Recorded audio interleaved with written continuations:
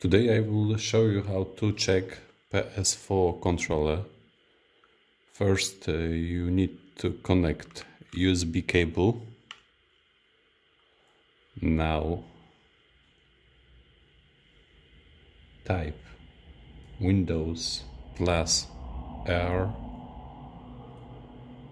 and write this text.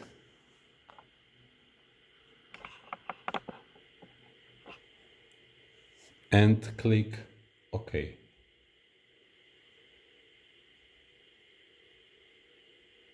Now click this and there you have all of controllers. This one is faulty as you can see. We need to replace this analog this one work fine.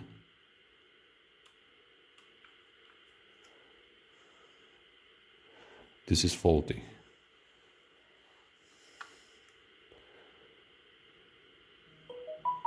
Now we replace the analog and you will see the difference.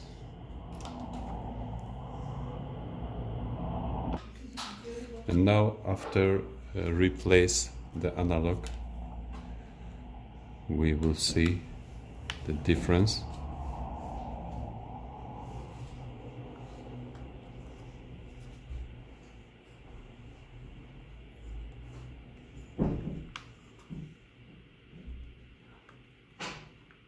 As you can see it worked properly